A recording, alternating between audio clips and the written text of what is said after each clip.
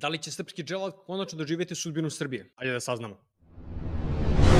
Ćao ljudi, dobrodošli na video na kanalu, nadam se da ste svi dobro. U današnjem videu najava grupe A na ovogodišnjem euro. Da, kao što sam najavio u petak, od danas krećemo sa najavom svake grupe. Danas radimo grupu A, u petak će biti grupa B u kojoj se nalazi Hrvatska, zatim ćemo naredne nedelje odraditi grupu C, našu grupu i to u dva videa, prvi će biti o protivnicima Srbije, a drugi o samoj Srbiji i tako dalje, sve do poslednjeg serijala u seriji gde ću dati svoje predikcije za celokupan euro. Pre nego što nastavimo, znate foru. Lajkujte video, ajde da danas prebacimo 300 lajkova, lako i izvodljivo za vas i naravno ukoliko ste novi ovdje ili to još uvijek niste učinili, zapratite kanal i pomozite da što pre ostvarim cilj od 10.000 pratilaca. Na ovom kanalu pričamo o Evrokupovima, reprezentaciji Srbije, zanimljivostima srpskog futbola i kao što možete da vidite, pripremamo se uveliko za Evropsko prvenstvo u Nemačkoj. Ok, grupa A, koja se stoji od domaćina Nemačke, Škotske, Mađarske i Švajcarske. Pa i da krenemo baš od naših dželata sa prethodna dva mundijala, reprezentacija Švajcarske. Niko od nas ne voli Švajcarsku, nemojte da se lažem. Što zbog ta dva bolna poraza,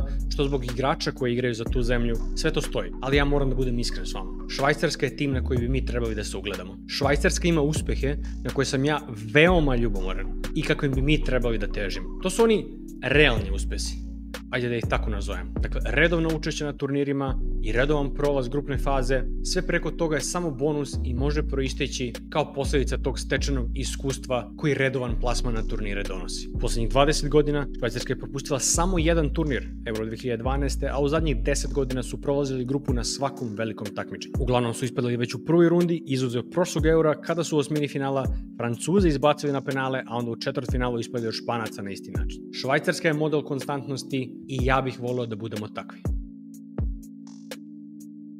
teže nego što sam očekivao. Doduše, poput nas imali su lakšu grupu, gde su na kraju sa 17 bodova završili na drugom mestu, iza prvoplasirane Rumunije koja imala 22 i ispred treće plasiranog Izraela sa 15 bodova. Samo jedan poraz doduše u poslednjem kolu od Rumunije, ali čak pet nerešenih mečeva, pomalo atipično za njih. Ovo će treneru Muratu Jakinu biti prvo evropsko prvenstvo na kojem predvodi Švajcarce. U Kataru je odradio svoj posao, može se reći, dve pobede u grupi i prolaz dalje, ali su ga onda tamo sačekali Gonzalo Ramos i Portugalija koji su slavili sa ogromni 6-1 švajcarskoj štampi i javnosti se to izdanje nije baš dopalo i ako na to dodamo slabije kvalifikacije, Jakin sedi na veoma vrućoj stolici i potencijalno ispadanje u prvoj fazi bi verovatno značilo i otkaz. Što se samog tima tiče, kompaktna, uigrana i disciplinovana ekipa. Mislim da Švajcarska ima najbolji par golmana na prvenstvu, Jan Zomer iz Intera i Kobel iz Borussia Dortmund. Odbrana je takođe solidna, predvođena Fabianom Šerom i Manuelom Akanđijem, Đerdan Šećiri je i dalje tu, iako daleko od svog prajma, mada u prajmu nije bio ni u Kataru, pa mu to nije bio problem da nam zabije gol, ali bez dileme najbolji i najbitniji igrač tima je kapitan Granit Xhaka. Imam osjećaj da su ga mnogi otpisali prošlog leta nakon što je prešao iz Arsenala u Leverkusen, međutim, ispostavilo se da je upravo on, taj oslonac u srži veznog reda bio ono što je falilo Bayeru. Neporaženi su ove godine 50 utakmica bez poraza, što je evropski rekord. Osvojili su Bundesligu i igraju u finalu Nemačkog kupa kao i finalu Lige Evrope, a Xhaka je svakako jedan od glavnih razloga zašto je tako. Ono gde možda mogu da imaju problem je napad. Za razliku od nekih prethodnih godina, kada su imali igrače kao što su Praj, Seferović i Embolo, sada nemaju baš sjajne napadačke opcije. Embolo je skoro čitavu sezonu bio povređen i ne znam da li će uopšte ići u Nemačku. Noah Okafor iz Milana je tu, ali ni on nije imao sjajnu sezonu. Napadač Barnleya Anduni im bio najbolji strelac u kvalifikacijama sa 7 golova, ali daleko je on od nekog svetskog nivoa. Međutim, ako pogledate taktiku kojom igra Jakin, mislim da to možda i nije toliko presudno. Švajcarci se poslednje decenije mnogo više oslanjaju na bočne pozicije, nebitno da li to bila krila kao Šačiri u formaciji 4-2-3-1 ili wingbackovi poput Rodrigueza u formaciji 3-4-2-1 ili 3-5-2. Ako se setite njihovi golova iz Katara, oni su postizani nakon akcije ili prodora po boku, gde bi ili Šačiri zadao taj poslednji udarac ili bi se lopta prosto ubacila na peterac, a napadač imao zadatak da samo postavi nogu. A zašto sam rekao potencijalni problem? Zato što za razliku od prethodnih godina nivo bočnih igrača nije isti, to jest dosta je niži. Naredna selekcija, naši susedi Mađarska. Mislim da dosta toga znate pošto smo sa njima igrali u kvalifikacijama. Veoma direktna ekipa, daleko od elite po imenima, ali tim koji uvek poveđuje slabije ili ravne sebi, a zna da upravo i tu elitu savlada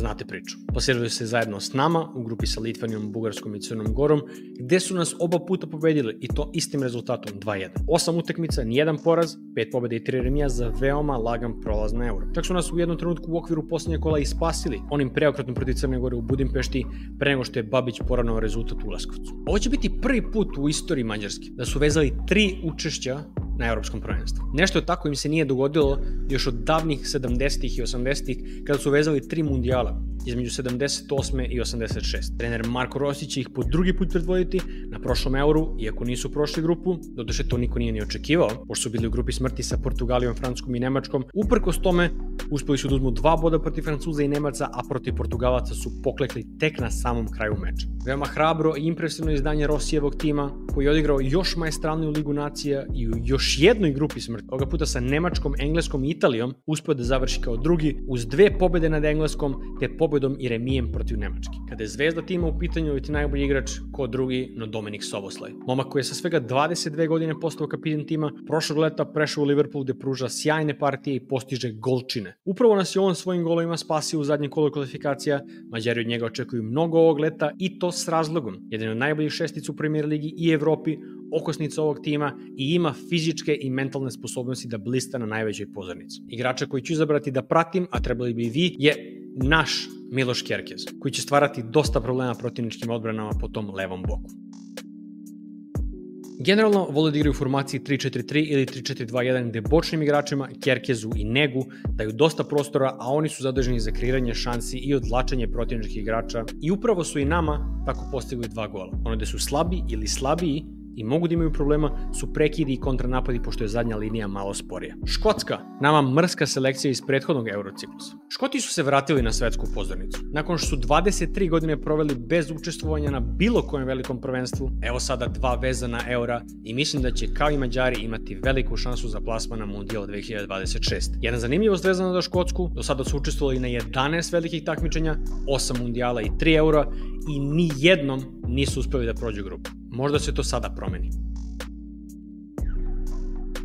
Neočekivano, vrlo lako. U grupi sa Španijom, Norveškom, Gruzijom i Kiprom, Škotska je zauzela drugo mesto iza Španaca sa čak šest bodova više od Norveške, koji u svom sastavu ima igrače kao što su Holland i Odegaard. Dakle, ni blizu nije bilo. Imali su pet pobjeda, dva remija i samo jedan poraz, a od tih pet triumfa jedan je bio i protiv favorita Španije. Scott McTominay je blistu u kvalifikacijama, gde je sa pozicije veznog, to je zadnjeg veznog, uspeo da čak sedam puta matira golmane i odvede Škotsku u Nemačku. Trener Steve Clark je vratio malo ratničkog mentaliteta i pobedničkog duha u ovaj tim i upravo ih je on predvodio na tom prošlom za njih istorijskom Euro 2020. To u kombinaciji sa kvalitetnom generacijom igrača, kao što su pomenuti McTominay, kapitan i prva zvezda tima Andy Robertson, Billy Gilmore, Kieran Tierney, ali po meni njihov najbolji igrač u ovom trenutku je John McGinn. 30-godišnji vezisti kapitan Aston Villa za sebe ima vrhunsku sezonu, diriguje timom koji će po svemu sudeći igrati Ligu šampiona naredne godine, 6 golova i 4 asistencije u Premier Ligi. Izgleda da ga Emery podigao na jedan dodatni nivo, a kada je u pitanju igrač kojeg bih izdvojio i koga bi trebali da pratimo, to je zasigurno Luis Ferguson. Ko prati seriju A zna o čemu pričam. Ofenzivni vezista Bolonje, impresivna sezona kako za njega, tako i za samu Bolonju, jer je tim Tiaga Mote posle 60 godina obezbedio Ligu šampiona, a upravo je Škot svojom igrom bio katalizator tog uspeha.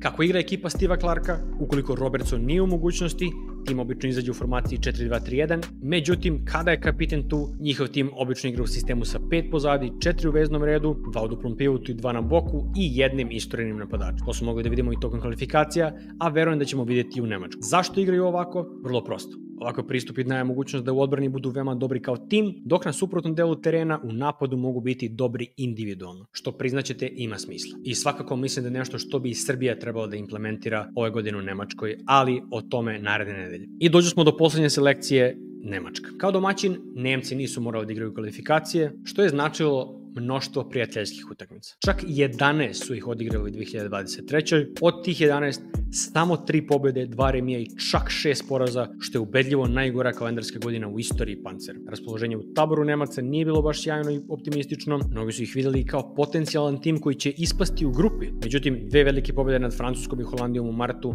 izgleda da su vratile duh narodu i veru kladionicama, pošto su Nemci sad treći favoriti za osvajanje. Mislim, kako možeš ekipu koja je trostruki prvak Evrope i domaćin prvenstva da tako lako otpišeš i to u grupi sa Škotskom, Švajcarskom i Mađarskom. Prosto ne ide. Kada je trener u pitanju, Nagelsmann je selektor, on je na toj poziciji zamenio Hansija Flika nakon onih katastrofalnih izdanja rezultata. Međutim, ni njemu na samom startu nisu cvetale ruže. Pobeda, remi i dva poraza i sve do marta ove godine stanje u javnosti je bilo kao i dok je Flick bio tu. Nagelsmann je uspeo da to mišljenje promeni i čak ubedi čelnike Nemačke federacije da mu ugovor produže do 2026. Što se tima tiče, Nemci su uvek Nemci. Kvaliteta uvek ima. Jezgro tima čini igrači iz Bundeslige, prvenstveno iz Bayerna i ove godine iz novog šampiona Bayer Leverkusena. I deluje mi kao da su uspeli da naprave veoma dobar balans između mladosti i iskustva. Iako u timu imamo imena kao što su Neuer, Kimi, Gundogan i Ridiger, zvezda tima, odnosno zvezde tima, što nisam mogao da izaberem samo jednog, su Jamal Musiala i Florian Wirtz. Prosto ne znam ko je bolji i ko ima veći potencijal, tako da gledajte na njih kao na nekog dvoglavog nemačkog orla. Ali,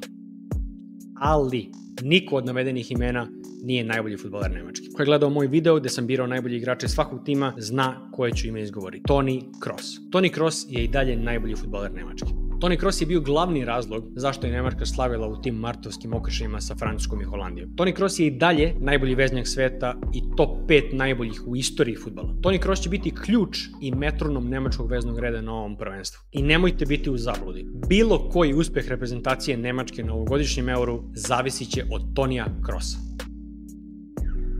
Ako se pitate kako će Nemci igrati ovog leta, pogledajte samo ta dva meča sa Holandijom i Francuskom. Vrlo prost i vrlo pragmatičan pristup, nešto što je uvek Nemce krasilo. 4-2-3-1 sa Krosom i Andrićem u duplom pivotu, Gundoganom u nekoj 8.5 roli i Musialom i Vircom na bokovima. Šta je sjajna stvar za Nemce? Klupa. Pogotovo kada su bočni igrači u pitanju gde imate Bayernov duo Gnabry i Leroy Sané. Gde su slabi u defanzivnoj tranziciji, a bekovi mogu da imaju problema sa brzim i hitrim krilima, što smo jasno mogli da vidimo u susretu između Bayerna i Reala, gde gde je Vinicius pravio haos po tom boku gde se nalazio Jozua Kimih. Kada su neke osnovne informacije u grupi u pitanju, tu prvenstveno mislim na utakmicu u samoj grupi, to bi trebalo da izgleda ovako. 14. juna u Minhenu, Nemačka protiv Škotske otvara euro. Dan kasnije snage meravaju Mađarske i Švajcarske u Kjelnu, 19. juna Na moj rođendan Nemci će u Stuttgartu ugostiti Mađare, dok se Škoti i Švajcarci sastaju u Kelnu. I onda u zadnjem kolu 23. juna Švajcarska Nemačka u Frankfurtu, dok će Škotska i Mađarska svoj okršaj odigrati u Stuttgartu. Predikcije neću raditi danas, to ostavljam za kraj ovog serijala, tamo početkom juna kada ću dati svoju prognozu za ceo turnir,